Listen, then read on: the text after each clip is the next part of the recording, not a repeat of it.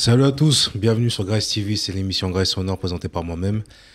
Comme à chaque fois, je vous demander de vous abonner, de liker, de partager, ça vous coûte strictement rien, c'est gratuit. Toujours à Marseille, aujourd'hui je reçois Hermano. J'arrive pas à le prononcer avec votre accent. Hermano Salvatore. Hermano, Hermano Salvatore, frérot. comment tu vas? Ça va très bien, et toi? Ça va? Ça va. Dis-moi tout, dis-moi tout. Je veux que tu te présentes, tu m'expliques ton Eh parcours. ben, écoute, on est là, Hermano Salvatore. Alors, je suis issu. euh, ça fait un petit moment que je rappe maintenant, ça fait une petite quinzaine d'années. Je suis issu d'un groupe qui s'appelait Grande Instance à l'époque. On a commencé à deux avec mon frérot l'ami Cacho. Après, j'ai créé un collectif qui s'appelait Tous Salopards. Aussi, on était un paquet. De là, on est rentré dans les rap contenders avec trois des, des Tous Salopards. On a fait notre petit bout de chemin dans les rap contenders. Et, euh, et derrière, ça a mené à, il y a quoi, trois ans, j'ai décidé de me lancer un petit peu en solo. Et on a commencé à développer un petit peu mon, mon, ben, mon nom en solo, quoi, du coup. D'accord. Pourquoi les groupes n'arrivent jamais à rester unis? Ouais, je pense que. bon, déjà, il y a beaucoup d'ego hein, dans les groupes, quoi. Et c'est dur. Alors, nous, en plus, on avait un groupe où on était huit bonhommes dedans. Donc, le temps de parole limité, forcément.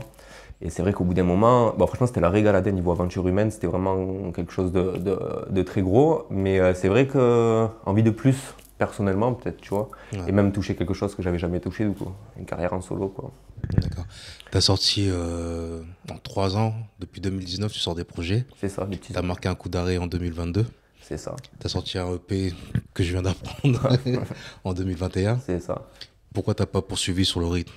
Je voulais, euh, j'ai senti un peu que mon public, tu vois, attendait un peu plus de moi. Ça veut dire que j'avais un rythme où je sortais euh, des, euh, des clips ou des freestyles tous les 15 jours, maximum, quoi.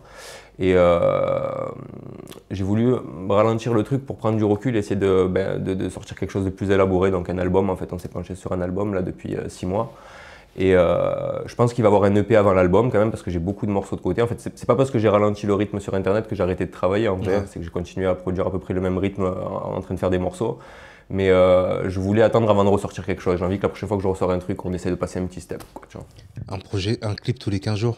C'est pas trop donné Pendant, pendant, deux ans, ouais, on s'est envoyé comme ça. Et on a senti que ça, ça, ça apportait un bon rythme, mais après on a senti aussi une espèce de lassitude, tu vois, au bout d'un moment, parce que forcément, si on propose pas quelque chose de différent, au bout d'un moment, les gens ils se lassent, quoi, tu vois, je pense. Ouais.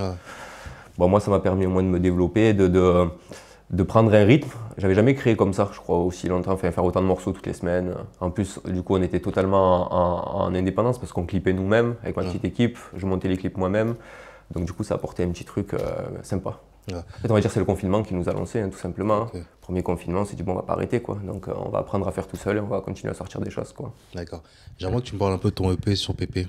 Ouais. Bah Alors voilà, ça c'est vraiment le fruit du premier confinement. Ça veut dire que j'ai commencé toutes les semaines, je, je me- je faisais un morceau, je le clippais, je le sortais.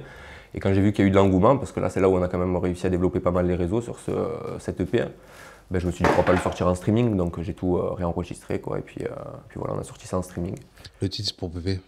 Alors sur PP, euh, c'est une expression de chez nous, que j'ai avec un collègue depuis jeune, quoi, tu vois, sur PP, je veux dire sur ma mère, sur mon père, nous c'était ça, c'était sur PP. Euh, et en plus, ouais, il y a une petite euh, dédicace, parce que alors, du coup, Salvatore, c'est le prénom de mon grand-père, que j'ai perdu quand j'avais 18 ans. Et euh, du coup, c'est une petite dédicace à lui aussi, quoi. D'accord. Comment tu définirais ton style, toi? Euh, je te dirais euh, imagé, de la plume. Imagé, ouais, je passe. En fait, j'écris mes textes et j'ai besoin de passer par des images pour faire comprendre plus rapidement les choses, peut-être, quoi. Et après, je te dirais que je fais du rap un petit peu euh, psychologique et social, j'aime bien dire, quoi, tu vois. J'aime bien aborder tout ce qui est euh, psychologique de l'homme et parler de la société aussi.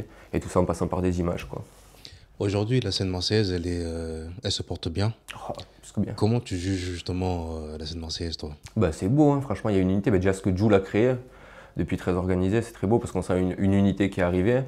Et là, ouais, c'est une scène qui est en pleine émergence. Il y a beaucoup de jeunes, il y a tous les styles à Marseille aujourd'hui. Ouais, a une époque, peut-être qu'on cantonnait un style, quoi, tu vois. Là, aujourd'hui, c'est vachement éclectique. Donc, moi, je trouve que c'est. euh, on est en train de redevenir la capitale du, euh, du bordel. Comme moi, j'ai l'impression, quoi, tu vois. Et ta place à toi dans tout ça? Ben, on est en train de la faire. hein. C'est vrai que nous, on est un petit peu de côté par rapport au tout le game marseillais. Euh, mais au petit à petit, on fait les connexions. Je pense que la plupart voient qui on est, mais c'est vrai que nous, on n'a pas peut-être fourni le travail euh, assez pour, pour s'implanter réellement dans Marseille. En plus, je viens pas forcément de Marseille même. Je suis de la banlieue marseillaise. Quoi. Moi, je suis des alentours. J'ai grandi à Martigues, après j'étais vers Aix. En ce moment, je suis sur Marseille. Euh, donc, je pense qu'on est en train de prendre notre place petit à petit. Ouais.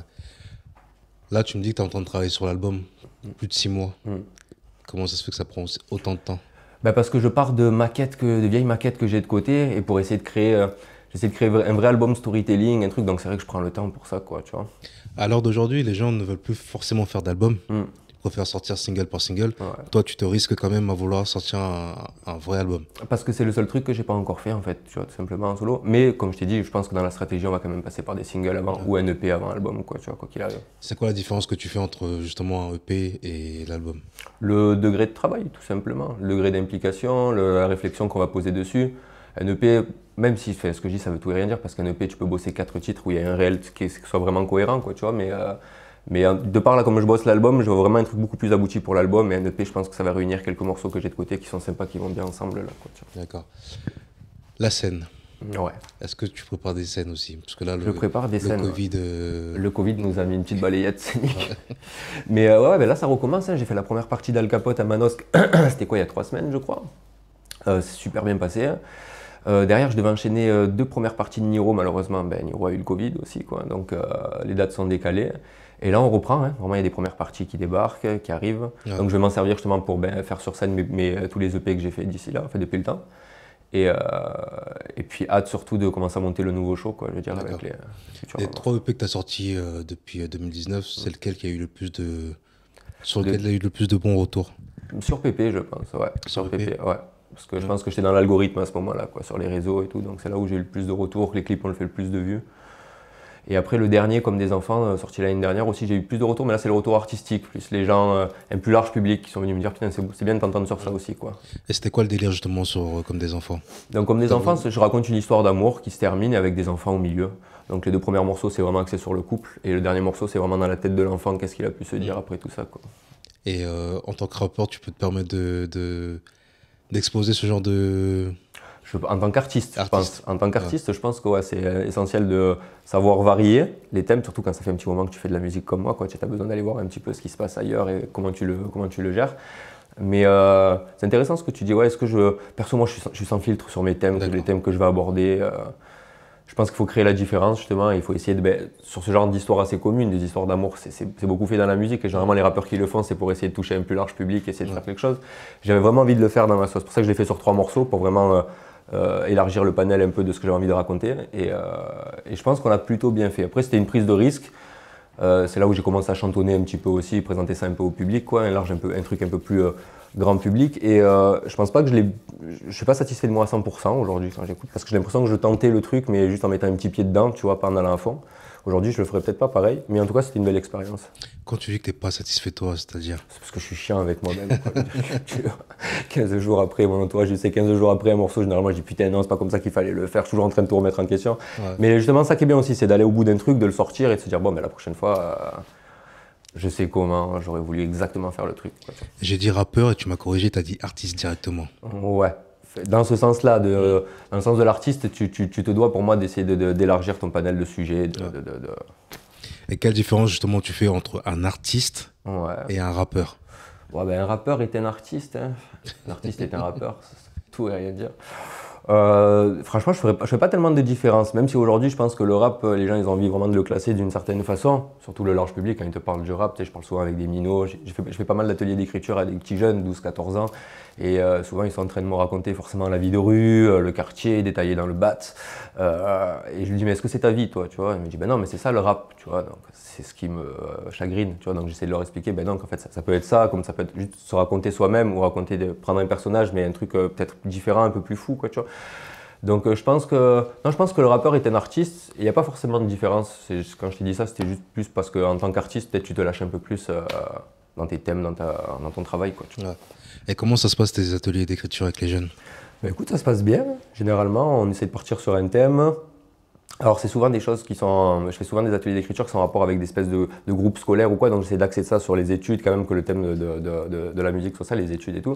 Et là j'en ai qui arrivent en plus là d'ici quelques mois aussi, donc euh, ça se passe super bien, les jeunes sont motivés. Euh, généralement on finit, eh ben, ils, font une présentation scénique quoi, le soir même où on a écrit. C'est vachement cool. Et quand tu dis par exemple qu'ils sont là en train d'écrire sur, sur la vie de quartier qui n'est pas forcément leur vie, Ouais. toi tu essaies de leur apporter notre vision. C'est ça, j'essaie de dire qu'est-ce que tu pourrais raconter de singulier qui t'appartient à toi-même, quoi, simplement. Ok. Euh, Qu'est-ce que je peux te souhaiter de bon pour la suite? Ah ben écoute, du travail, la santé pour, pour faire le travail, je crois que c'est le plus Ouais. important. Et euh, sur l'album, euh, est-ce que tu as déjà un titre? Est-ce que tu as déjà une- un squelette euh, Il y, a, il y, a un bon squelette de dessiné. Après, le titre, je suis pas sûr. Donc, je peux, je peux, je pourrais pas te dire aujourd'hui. On partirait sur un 12 titres On va partir ouais, entre 12 et 14 titres, je pense. On va essayer de... Toujours en indépendant Toujours en indépendant pour l'instant. Tu n'as jamais été approché euh, On a été approché, je suis même en édition en ce moment dans un petit label, mais euh, niveau production, on n'a pas de producteur derrière, quoi, donc on est vraiment en indépendant. Et ça te plaît de travailler comme ça Pour l'instant, c'est bien. Après, c'est vrai que pour passer ce petit step, tu te dis, bon, s'il y a un petit appui euh, financier, on sait très bien, quoi, je veux dire que ça va être ça. Mais pour bosser l'œuvre, en tout cas, aujourd'hui, ouais, je pense que c'est pas mal. D'après toi, qu'est-ce qui te manque pour franchir le palier, devenir. Bah, la prochaine référence? Le bon morceau, peut-être, tu vois, le bon morceau, euh, la bonne rencontre. Je sais qu'en ce moment, là, il n'y a, pas si longtemps, j'ai rencontré monsieur l'adjoint, donc Skena Win Music. Et je suis en train de travailler justement à retravailler l'album avec lui. Et c'est vrai que rien que de bosser avec un monsieur comme ça, il t'apporte une autre, une autre, une autre, un autre mental en fait sur ton projet, comment élargir le truc. Et, et euh, donc je pense ouais, ça a des bonnes rencontres et, euh, et arrive à faire le bon morceau, quoi, tu vois. D'accord. Bah, je te laisse le mot de la fin.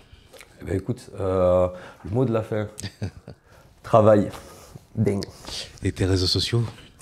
Hermano Salvatore, de partout, Instagram, YouTube, tout simplement. T'as pas voulu prendre de pseudonyme, t'as gardé ton. Non, on est en train de réfléchir à ça, justement, ouais. basculer sur Manito, peut-être, quelque chose de, que justement à partir de sur PP, j'ai commencé à vachement répéter.